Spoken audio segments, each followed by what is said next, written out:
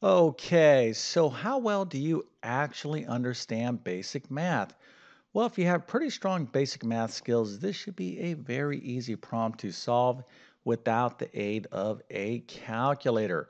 All right, so let's go to take a look at the problem. And here it is. We have parentheses 4 minus 6 times parentheses 6 minus 4 minus 1.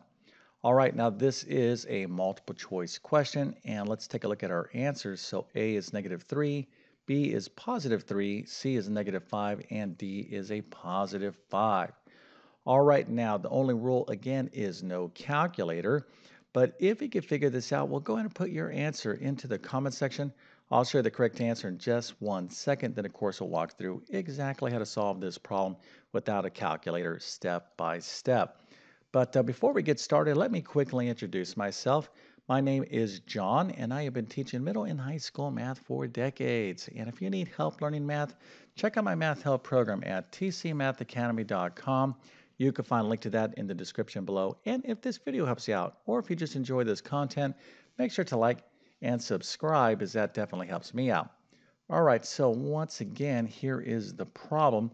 Now, just because you can't use a calculator doesn't mean that you have to do this problem fast, right? So the only rule is no calculator, but what you want to do here is, you know, show each step of the problem. So whatever answer you get, if you do this wrong, you hopefully can identify, you know, what you uh, did wrong so you can correct it. But let's go ahead and take a look at the right answer. The correct answer to this problem is C, negative 5. All right, now if you got this right, well, you definitely get a happy face, an A plus, a 100%, and a certificate of excellence because you appear to be a certified expert in the order of operations, PEMDAS, and positive and negative numbers. Okay, so we're talking about basic math skills here. And if you didn't get this right, well, don't get discouraged. I'm going to do a quick review of all of this. Matter of fact, let's go to get started right now. All right, now uh, this problem you know, we have parentheses, we have some numbers, and these numbers right here, 4 minus 6 and 6 minus 4, for some of you, this might, you know, quickly, you might look at these and be like, oh, 6 minus 4, this is 2, and this is maybe 2 here as well. You got to be very careful because order definitely makes a difference when it comes to subtraction. Okay, these two values here are not 2. One is 2 and one is not. But uh, what we need to do is understand the correct order to do this problem. So we have some parentheses. We have to figure out what's going on there. We have multiplication. We have subtraction right here, and we also have subtraction right here. So the first thing we need to do is to consider the correct order to do this problem. That's something called the order of operations. Okay, and we'll get into that in just one second. And then the next thing that we need to understand is how to work with positive and negative numbers. So you got to be very careful here because if you do this problem in all different sorts of ways, matter of fact, let's do it this way. Let's say uh, some of you might thought oh, this is 2 and 2, maybe that's 2 times 2, that's 4 minus 1.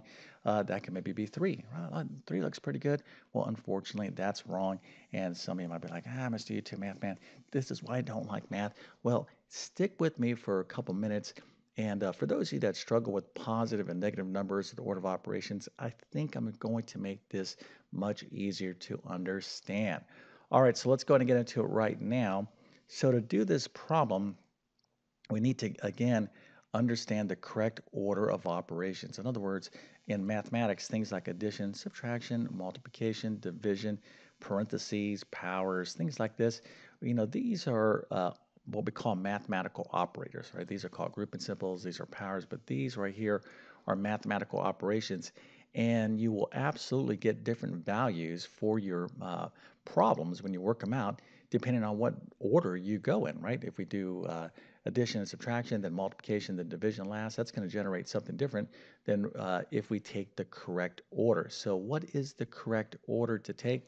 Well, it's this lovely little acronym right here. I'll explain this in just one second. So in order to do this problem right, we need to understand this, but we also need to understand this, and that is how to work with positive and negative numbers. So there's two things going on here. And let's go ahead and do a quick review of the first, and that is the order of operations. Okay, so here we have a lovely little acronym called PEMDAS. This is a checklist that goes from left to right. Now, if you follow this checklist, you will always take the correct order of operations in a math problem. Okay, so you'll do things, you know, again, and not in the wrong order. That's how you get wrong answers. All right, now there's a lovely little phrase or that kind of goes along with it, a mnemonic, a memory aid, and that is please excuse my dear Aunt Sally. Once again, please excuse my dear Aunt Sally. So I don't know what Aunt Sally did, but we thank her for her cool little phrase. This has been, around forever. And uh, let me go ahead and explain this to you right now. Okay, so obviously these letters stand for something, and this is a checklist that goes from left to right. So P stands for parentheses. So if we see any parentheses in our problem, that's where we're going to start. Now, obviously, our problem has parentheses, so that is going to be the starting point. But uh, this P really stands for grouping symbols. We can group numbers together with these type of uh, brackets or these kind of squiggly brackets. So that's what P stands for. Now, if you have like parentheses and then brackets like this and then another uh, kind of squiggly brackets, and this is one big math problem, you always start from the innermost parentheses and work yourself out. All right, so that's what P stands for. Okay, E stands for exponents, but you can think of it as power. So like something like 2 to the third power. So when you have a power, there's two parts to the power. This little top number up here in the top right, that's called the exponent. This bottom number down here is called the base. The entire thing is a power. So E stands for um, exponents, but it means powers. And it could be confusing, right? If we had P and then another P, we're like, well, parentheses and then parentheses again, or, you know, so that's why uh, we have E. All right, now M, D, A, and S, before I explain the rest of this, again, we're going from left to right. It's a checklist. If we have parentheses, we're going to do that. If we have powers, uh, exponents, we're going to uh, do that. Now the fun begins. We have M, D, A, and S. Now I, I say the fun begins because this is where a lot of students make a lot of errors. All right, now before I tell you the order here, let's just go ahead and define what these uh, letters stand for. So M is multiplication, D is division, A is addition, S is subtraction. So it's just kind of like logical. They are saying, all right, Mr. YouTube Math Man, I guess we're going to do all the multiplication uh, next because that's what comes, uh, you know, that's the next thing from left to right. That makes sense, but that is not right. Now, this is where students get really like upset. They're like, this is why I don't like math. You tell me one thing and now it's like another thing. Well, uh, you know, you got to be very careful when it, you're learning the order of operations. So really what's going on here is that this is a group, okay? So what you're going to do is multiplication or division, whatever you see first from left to right. So if you see multiplication, then division. If you happen to have both operations in a problem, you do the multiplication first if it's on if it's the first thing you run into from left to right. If you see division and then multiplication, something like maybe 12 divided by 3 times 2, something like here, you would not do multiplication. Okay, you would do the division and then the multiplication.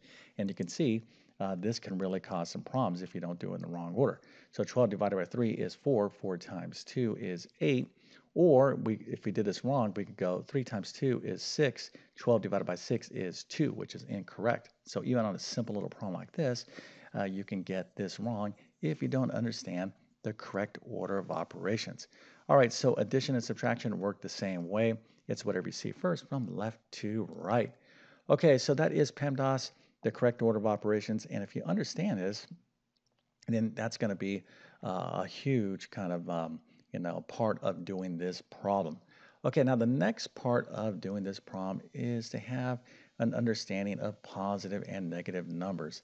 And uh, this is another topic where a lot of students uh, make a lot of errors. Now it's easy, I'm, well, at least I think it's kind of easy. It all depends, of course, how you were taught this stuff. But I'm going to teach you uh, this in a very easy way. But it's also easy to make mistakes. Okay, so the only way you're going to get good at these rules is to practice them. So I'm going to give you a, a quick crash course on the rules of positive and negative numbers. All right, so here is uh, basically our situation. So we need to understand how to multiply, divide, add, and subtract positive and negative numbers. So the rule, okay, or the rules for multiplying and dividing positive and negative numbers is the same. It's super easy. I'll show you this in uh, just one second. And effectively, the rules for adding and subtracting is the same. So all we need to do is understand two rules here, okay? If we understand this one rule and this one rule, we will have mastered how to do all these operations with positive and negative numbers. All right, so let's go and start with multiplication and division because this is uh, super easy. So this is the way it works. If the signs, now the sign what I'm talking about is if it's a negative or positive. This is the sign of a number. If the signs are the same, the answer is positive. Again, we're talking about multiplication and division. All right, this is multiplication and division. Don't confuse this with addition and subtraction. All right, so simple rule here. So if you're uh, multiplying, okay, a positive and positive, or dividing a positive and positive, the answer is positive. Negative times negative po is positive. Negative divided by negative, positive, right? So again, uh, same sign, all right, the numbers have the same sign, the answer is positive. If the numbers have different signs, the answer is negative. Okay, and this is, the, again, the case for both multiplying and dividing. How easy is that? And you are 50% done with learning positive and negative number rules. Now, some of you might be saying, man, Mr. YouTube Math Man, how come my math teacher didn't teach me just the way you just taught me right there? Well, listen, you know, um, I'm just uh, kind of giving you something to kind of hold on to and remember, but you need to practice this to really get good at this stuff. All right, now here is addition and subtraction. So I want you to think of this as the same rule, and I want you to think money. So you might be saying, what are you talking about, Mr. YouTube Math Man? But if you're talking about money, I'm definitely going to watch your video a little bit more. Yes, I want you to think in terms of money. I'll show you exactly what I'm talking about in a second. Now remember, we are talking about adding and subtracting, okay, positive and negative numbers. So what we're going to do here for subtraction is our subtraction situation, we're going to turn subtraction problems into plus negative uh, situations. Okay, so addition problems are already addition problems. Subtraction problems we're going to turn into addition problems as well, but it's going to be plus a negative. And then one little quick thing before I explain this, a negative of a negative, okay, because this comes up right here, is always a positive. This is the opposite of a negative. So a negative of a negative is a positive. So if you remember all these little things right here, then I can kind of start talking about this money situation, and uh, then we can do this problem. All right, so real quick. So money, all right, so this is how it works. So let's suppose, um, uh, well, let's just kind of set up this way. So if you have money, that's like a positive. Uh, it, that's like a positive value. If you have money in your pocket or in your bank, that's a good thing, right? So we want to have money. Now, if you don't have money, now if you owe money, that's negative, right? Uh, and so let me, I'll use blue. So negative negative three dollars means that you owe. Okay, so this is uh, like you owe someone. You have to pay this. This is a bill.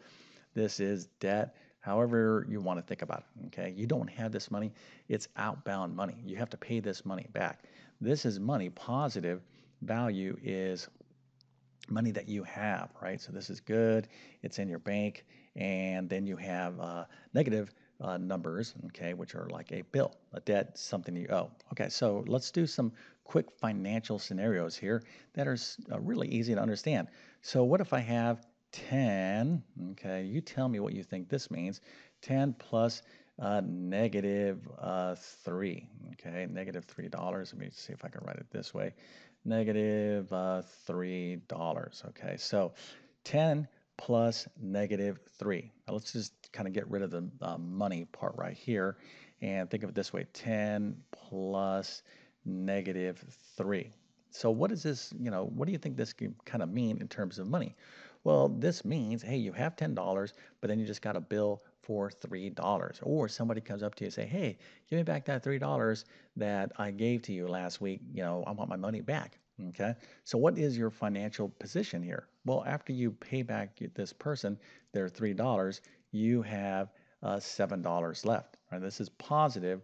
And when it comes to positive values, we don't typically write the positive sign in front of it. So it's just by itself. Okay. Negative values, you'll have the negative sign.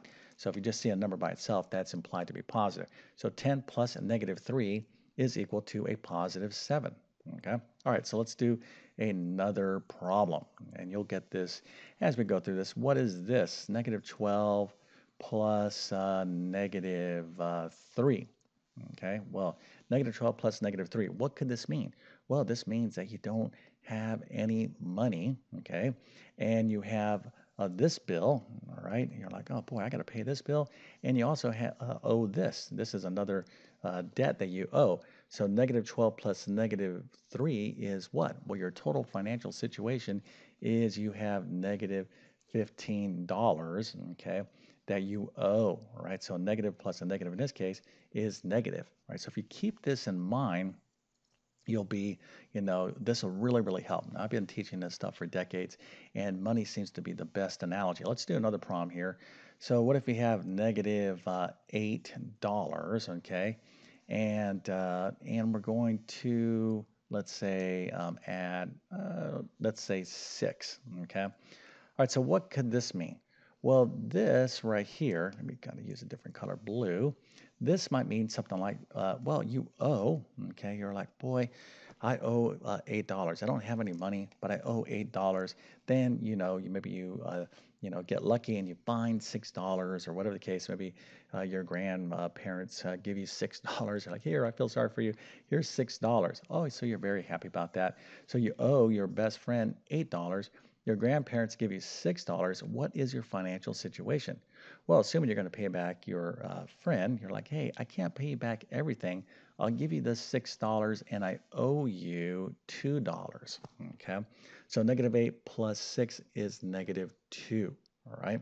So hopefully, if you can keep this in mind, all right, this is really, really going to help you out. All right, let's take a look at subtraction real quick and then uh, we'll get into this problem. So if we have 2 minus 10, 2 minus 10. So remember up here, I talked about I want you to think of subtraction problems as plus and negative problems. So that means here, instead of subtraction, what you're going to do is you're going to take that subtraction and you're going to turn it into an addition problem. So you're going to go, okay, put it into, as an addition, and then you're going to take that a negative sign and you're going to attach it to the number to the right. Okay, so 2 minus 10, for example, I want you to think of as 2 plus a negative 10. Now, this is much easier because here is our financial situation. Uh, we have $2. We owe someone uh, $10. So when we give this person our $2, we still have $8 in debt. So 2 uh, plus negative 10 is negative 8, or 2 minus 10 is negative 8 because you're thinking about plus negative. All right, so hopefully you know, this is a good review for some of you out there that you know have been confused about working with positive and negative negative numbers. I just covered how to add, subtract, multiply, and divide, and we went over the order of operations PEMDAS. This is like a, a couple chapters worth of basic math in a few minutes. All right, so let's put this all together by taking the next step, which of course is to start with our order of operations. All right, so PEMDAS, P-E-M-D-A-A-S, that is the correct order of operations, and we're just going to use it as a checklist, right? So we're going to start from left to right, and I'm going to ask myself, all right, do I have parentheses? Obviously we do. So that means I'm going to have to do what's inside each of these parentheses before I take the next step. Now, inside of the parentheses, whatever math that you might have going on there, you could have multiplication, division, addition, uh, powers. You kind of have to use the, the checklist over and over again inside of the parentheses. But the idea here is before we do anything else, we have to finish, we have to get this answer, we have to get this answer. Okay, so let's go ahead and do that right now. But before we do, I need you to do this, and that is to hit that subscribe button, all right? I need your help. I need your help to help other people. I've been on YouTube for well over 10 years. Um, I'm like over 90 million views. It's kind of crazy to me that I've, I've uh, had that many views, but I'm happy that I have because it makes me feel like maybe I have helped some people out. And uh, I'm very grateful to have um, continued to grow my channel, but I really want to take it to the biggest level as it possibly can because as a math teacher, I'm passionate about really getting people to understand math. But I need your help, and the best way you can uh, support this channel is just simply hit that subscribe button. It really does help that YouTube algorithm and hit that notification bell as well so you can get my latest videos. All right, so let's go ahead and get into this problem now that we are experts in the order of operations, positive, negative numbers. So here we have subtraction, right? So 4 minus 6 so we got to do uh, what's inside this parenthesis and this parenthesis. So subtraction. Okay, so what are we going to do with subtraction? We're going to do plus negative. So 4 minus 6 is going to be the same thing as 4 plus a negative 6. Okay, so this will help those of you out there that struggle with positive and negative numbers, you know, to make sure you get the right answer. You don't make any errors. So 6 minus 4, now most of you, or a lot of you out there are like, yeah, Mr. YouTube Math Man, I already know the answer is positive 2. Yes, but for those of you that struggle with this, again, you can always do this plus negative business. So 6 plus a negative 4, and we can see the results of doing that. All right, so 4 plus a negative 6, we have more debt than we have money, so this is going to be a negative 2. And here we have more money than we have debt, so we're actually going to have some money left over. So this is going to be negative 2 times. When you have parentheses like this separated, or one parenthesis touching another parenthesis like so, this is multiplication. All right, so we have negative 2 times negative 2. Effectively, this problem is the same thing now as negative 2 times, a, I'm sorry, negative 2 times a positive 2 minus 1. Okay, so again, we go and revisit PEMDAS, order of operations, we're always going to have to do multiplication before subtraction. So we need to figure out what negative 2 times positive 2 is equal to. And remember the rule for multiplying and dividing positive and negative numbers. If the signs are different, we have a negative and positive, the answer is going to be uh, negative. All right, so 2 times 2 is 4, and this is going to be negative because the signs are different. So that's negative 4 minus 1. All right, so again, uh, this can be confusing to somebody out there. Don't get confused and don't get ahead of yourself. Be like, all right, well, let me just do the plus negative stuff that Mr. YouTube Math Man told me. So plus negative. So now our problem is a negative 4 plus a negative 1. So uh, we owe someone uh, $4 and we know we owe another person a dollar. So we have a total of $5 in debt. Okay, so negative 5 is our answer. So we just covered a ton of math here. Now, I know this video went a little bit longer, but my videos are not designed to be like, hey, watch me solve this problem in 90 seconds. I can clearly do this, okay? What I'm trying to do is teach you something that can go into your long-term memory so you can improve long-term in mathematics, but you can't improve in math unless you practice, okay?